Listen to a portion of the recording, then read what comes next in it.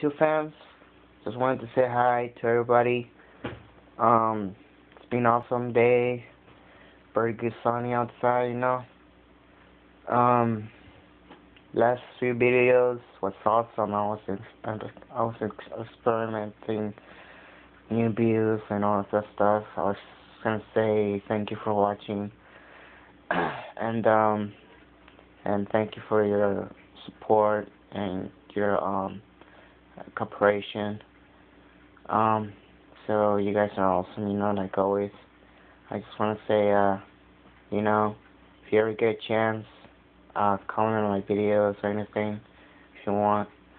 Um, anyways, today I was going to um, upload a new video, but I'm gonna wait until tomorrow because it's gonna be a surprise.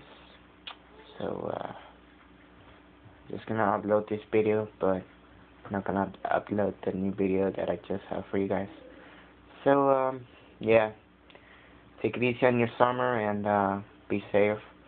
And if you're driving, don't drink or do drugs or anything like that.